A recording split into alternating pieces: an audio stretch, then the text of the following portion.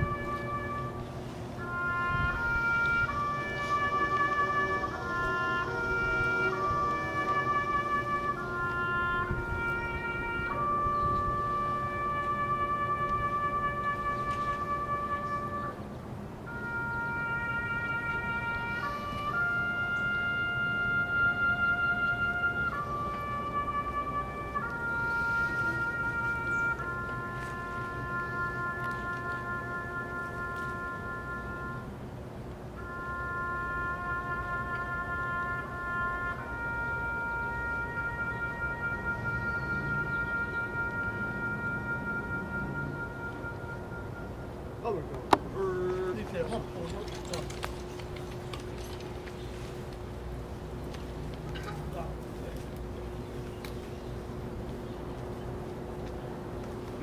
Guard, retire the color. Yeah, reset. Up.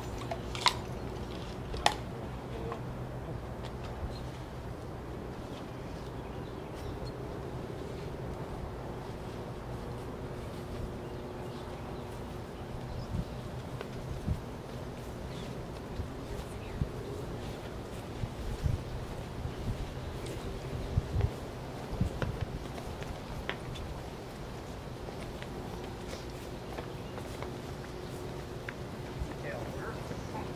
Right, think. Mark.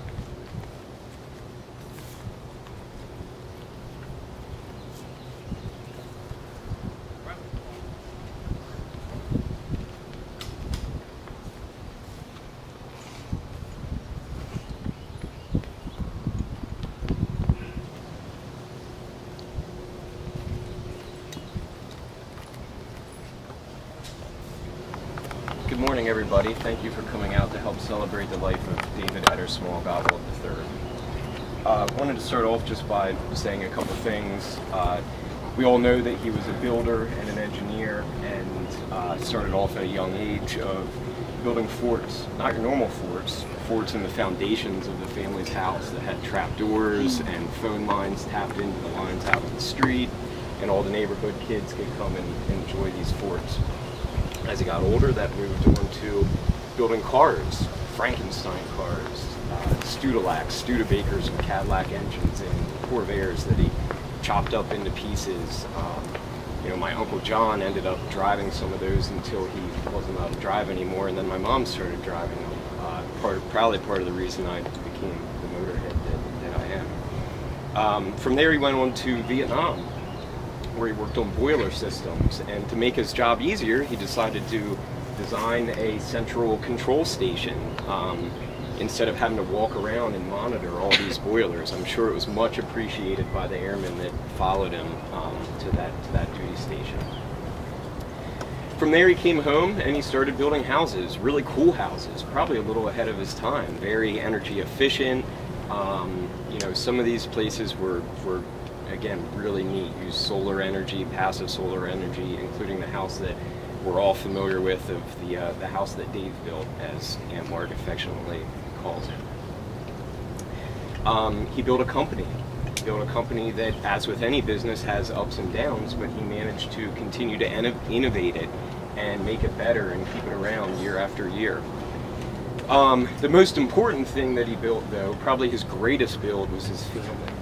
And that's what we're here to celebrate today. Um, he worked really hard to uh, build a legacy.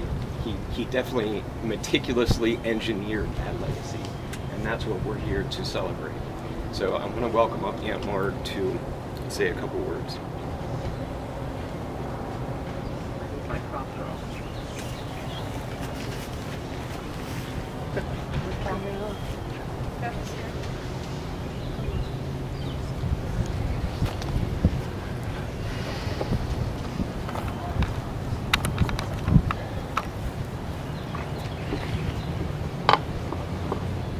Um, Deb had covered a lot of bases. Dave was a builder and an engineer, and we're here where David Etter Small was buried, and he was a builder and an engineer. In fact, this is a patent that he was granted in the 1880s uh, for something for railroad brakes or something that he did, and I'll sh- I'll share this with you later on at, at the place. Dave always felt an affinity for this man because he thought, in a way, those genes have been carried on. And I think Rick Nickerson has them. I think Devin has them.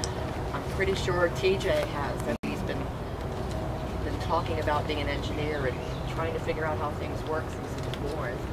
So I, I think those genes are there, and and I hope some girls have those engineer. Bet, Bet, Betty, uh, Betsy, any. I don't know if you have any or not. Lorelai, maybe, I hope, because it's not just a guy thing. Um, marrying Dave was always an adventure. We, he was being transferred to Virginia. We didn't have any money, so we actually saved $10,000 in two years in the 1970s, which we didn't do anything. Bought land in Virginia. And then he said, okay, we're going to drive down there every weekend and start building this house. So he bought a $300 Econoline van, took out the passenger seat because that's where the lumber and stuff would go. I would sit on the lumber as we drove three and a half hours south every Friday after working all week to build first the, the garage because first you need a garage so you can have a place to build. And uh, we'd go down, the dog and I sitting on the lumber, Pete, and for the first couple of weeks, I'm sleeping outside on the on the ground in a sleeping bag until I realized the neighbors aren't sleeping outside of the ground, but they were sleeping in a motel that the company was paying for. But that's an engineer. They don't ask those questions. And I never asked a question about, Dave, are we going to be able to do this? We're going to do it. We did it. And ultimately, that was our first house. And then this house that, we, that you're all going to be visiting. We, he wanted land on a hill facing south to build this passive solar, something he dreamed of since he lived on Dixie Drive. He would look up on the hill and, and he said to himself, I want to own land up there. So we found land and we started, we start, he said, here's the dimension, here's the dimensions, it's rectangular, what do you want? I said, I want a pit and a high area and bedrooms. And he, he built it. He, he, he never thought he couldn't do something. And he lived his life like that. And it was always an adventure with Dave. Never said, we're going to do it, and we did it. Um, sometimes things worked, sometimes things didn't, but um,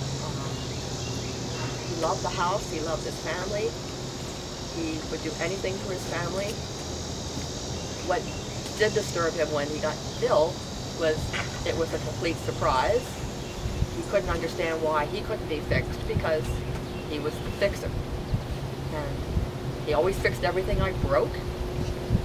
One of the things that attracted to me when I first met him was I'd break something, he'd fix it. I think, this is good. This is very good.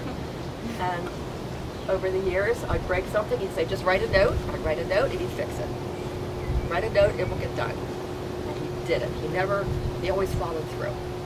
If you don't write the note, it won't get done. So I write sticky notes, put it on his wallet, and it will get done.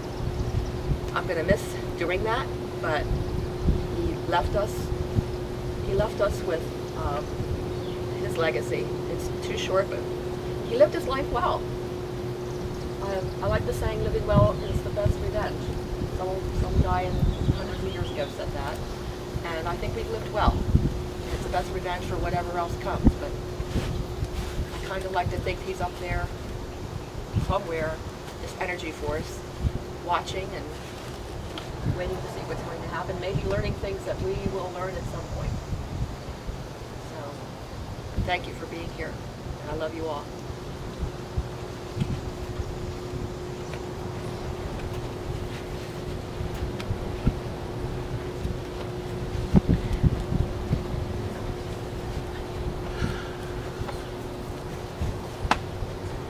When uh, my dad's mother died, he selected some words to um, recite at her funeral, Gigi. And since then, he carried them, these words, in his wallet while he still carried a wallet. Uh, and he pulled them out from time to time just to remind himself of freaking words. To laugh often and much, to win the respect of intelligent people and the affection of children, to earn the appreciation of honest critics, to appreciate beauty, to find the best in others, to leave the world a little better place than we found it, whether by healthy children, a garden patch, or a redeemed social condition. To know even one life breathed easier because you lived. This is to have lived a fruitful and complete life. And he read these words to himself on occasion. This is the life he wanted to live for himself, but I think he really did. Um, I know all of us breathed easier because. And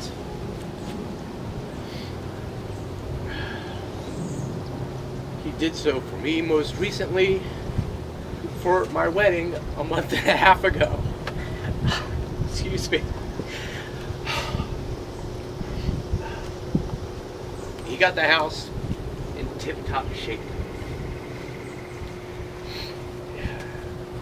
He was there for me and my wife. Where is she? There she is. Alexander. And uh, it was a beautiful wedding. Thanks in part to him. And we all had a fantastic time. Unaware of what was going on inside. But he that's who he was. He he's he, he didn't care about himself as much as he cared about his loved ones. And we can all hope to have a father that does that for us.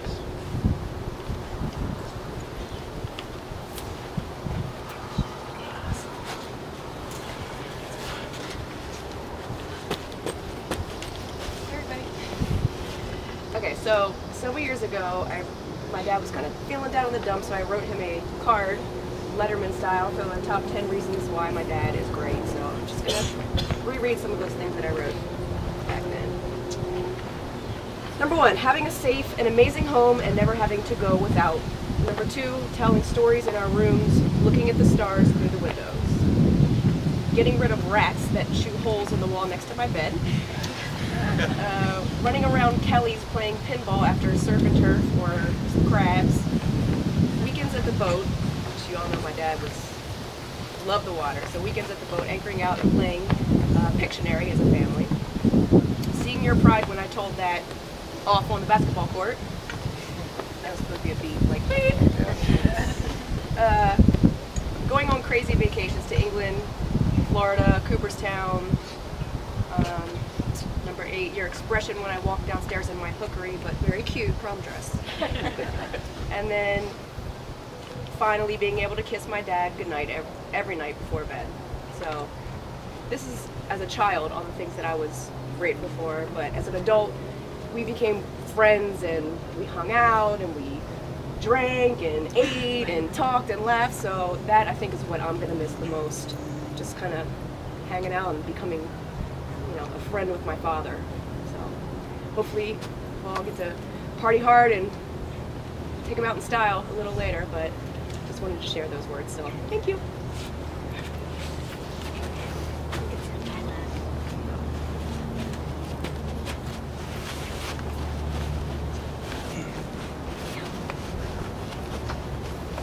Um, I can't add a whole lot to any of that. Um, you know, he's a great brother. Um,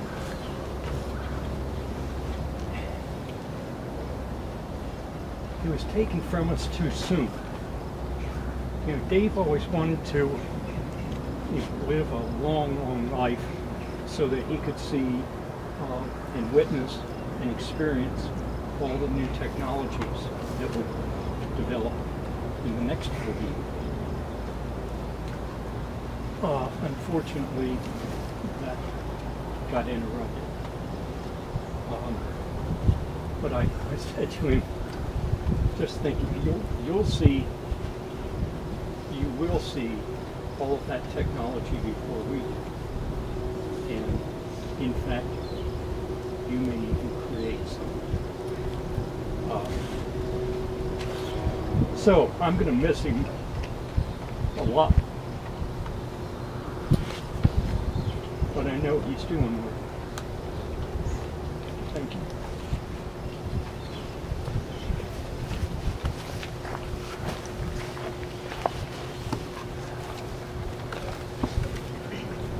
Thank you everyone for being here.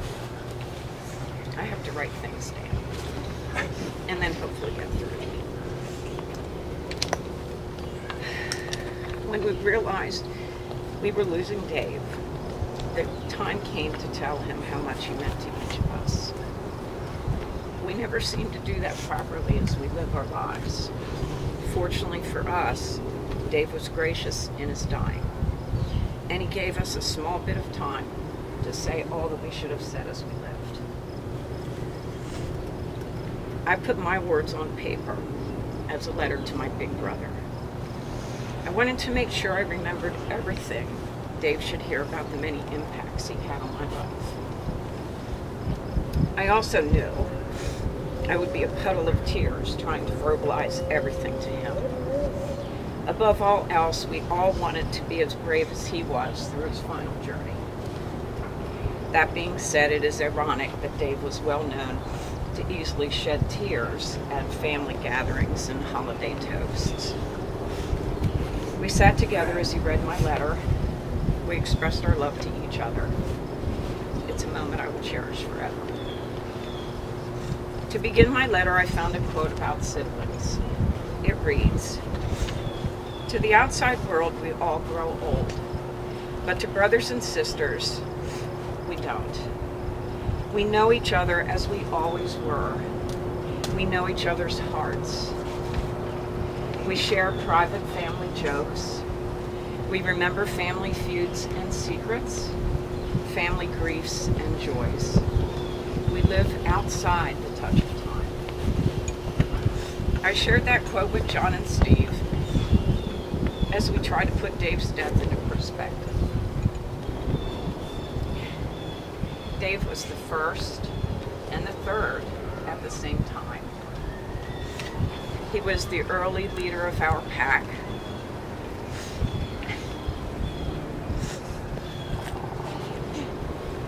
This is the line that gets me every time, and you won't believe it. He was the cocoa and peanut butter toast chef. He was the fixer of all things. I forgive him for sawing my blue Schwinn bicycle apart for his go-kart. I'm not sure Dad ever did for taking his lawnmower motor for installation on the same vehicle. It is true, as the quote says, that my brothers and I always live outside the touch of time.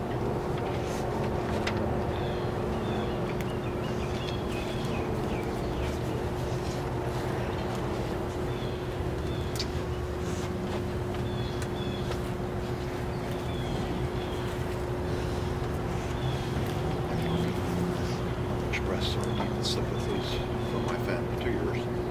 And the handsome guy. He's wonderful. Very handsome. Speak up. God. Um, I'm so grateful I had the opportunity to spend some time with Dave before he passed. Liz said he was very gracious, as always. He was a loving, caring person, strong, intelligent, and had a mischievous side to him. He mentioned the house in Virginia. I have a little story to tell you about that.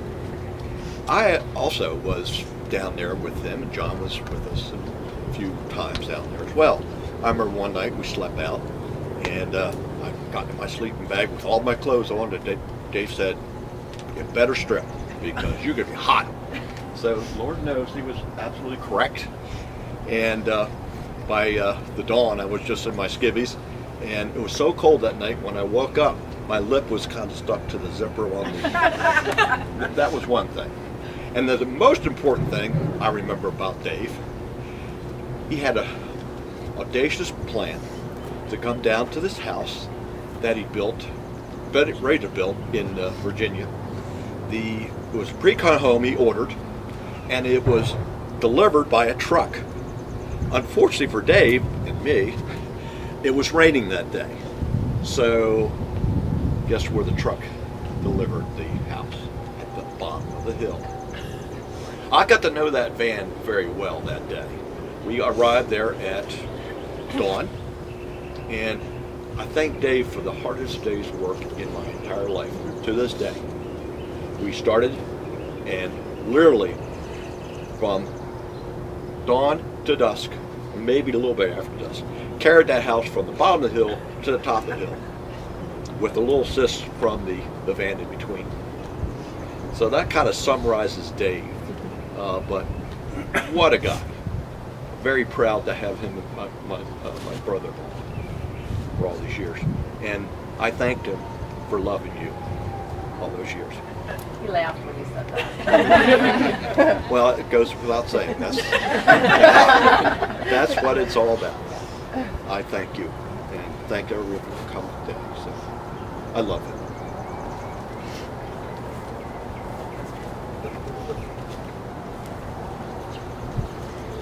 We all remember that house being built in, in Virginia. You know, but I reflect back when I first met Dave, the first thing I noticed about him, and we're talking about 40 some years ago, I guess, when Marg and Dave connected. The first thing I noticed about him is his positive attitude. You know, Dave was definitely a guy, his glass was always half full. He and I shared some common interests, typically cars, got involved with the Corvair issue, and uh, other mechanical things, but he was definitely a can-do kind of guy. In fact, he should have been called Mr. Capability. You know, but the one thing that I remember about Dave is he was fearless. When we were at the house, building the house, uh, I don't I don't recall who was who was there at that that time, but we were putting the gable panel in place. Now we're talking about two stories up, and then down to the foundation, yet another half a story. And we're carrying this large panel that's a bit, maybe about the size of this tent. Okay, I mean, it's a triangular panel. And two of us, one on the ladder, one on the wall, holding one end of the panel in place. And Dave attempting to walk along this two by four wall, carrying this panel, and the wind kicks up. You know, it never even phased him. He just kept on walking, got it in place, nailed down. And I remember this about him, he was always calm and decisive. I think that kind of sums up the personality that I know of Dave. You know, we're definitely going to miss him. My condolences to you all. Thank you. This time, if there's anybody else that would like to speak, please do.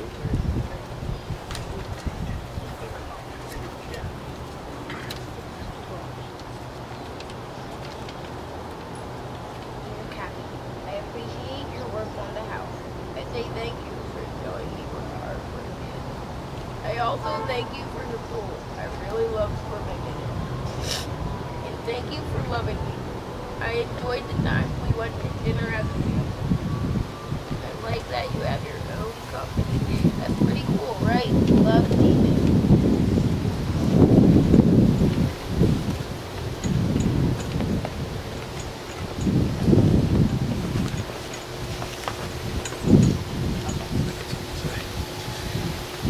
really quickly, um, I guess, you know, I hear a lot about Dave's calm demeanor and calm demeanor and everything. He and I kind of had a different relationship. you know, um, in the beginning it was father-in-law and son-in-law.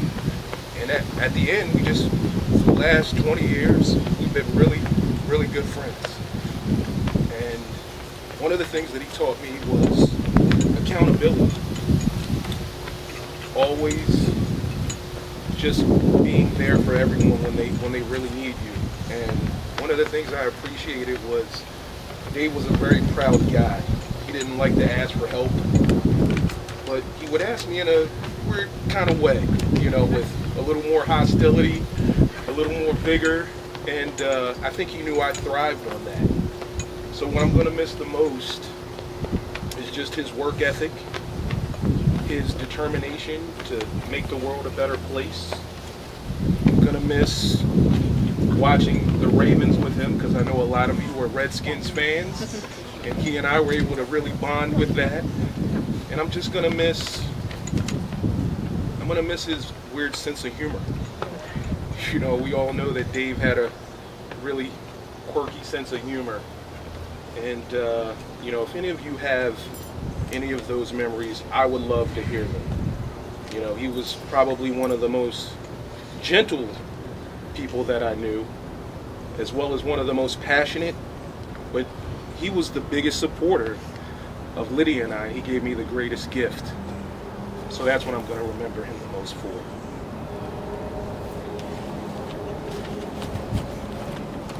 Five reasons I love and appreciate Cappy. I love that he was funny. I enjoyed going out to dinner with him. I liked being on the water with him. I love that he played games with TJ and I. He is the best grandfather ever.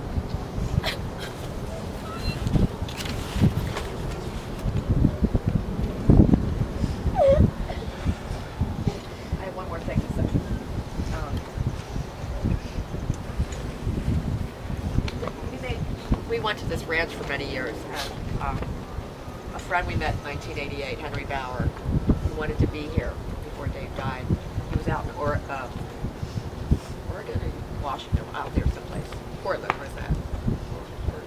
Anyway, he called, he FaceTimed Dave, and the last time he FaceTimed Dave, he told Dave everything he had done in his life that was positive, the family, um, the business, kind of the way he lived his life. And Dave just said to him, soldier on. So everybody, we soldier on. Was a remarkable, brave man. He told other friends who came four days before he passed, his dying thing, you have, to, you only do it once, you have to do it well. He did it very well. So yeah, it was a great example for all of us and everybody. That's what we must do. Live our lives the way Dave would want us to live them and soldier on.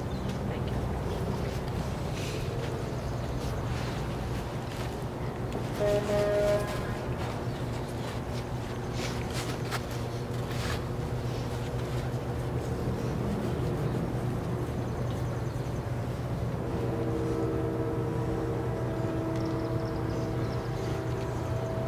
Wanted to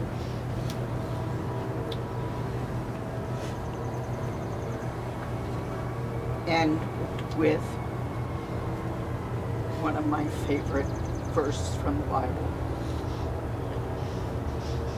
The Lord is my shepherd, I shall not want. He makes me lie down in green pastures. He leads me beside still waters. He restores my soul. He leads me in the path of righteousness for his name's sake. Even though I walk through the valley of the shadow of death, I fear no evil, for thou art with me. My rod and my staff, they comfort me. Thou preparest a table before me in the presence of my enemies. Thou anointest my head with oil, my cup overfloweth. Surely goodness and mercy shall follow me all the days of my life, and I shall dwell in the house of the Lord forever.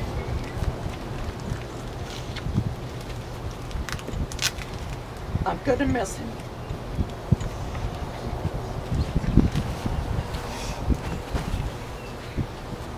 Uh, Marg and family would like to invite everybody back to the house that Dave built for uh, refreshments and to continue celebrating the life. Um, before we leave, we'd like to have a moment of silence to reflect upon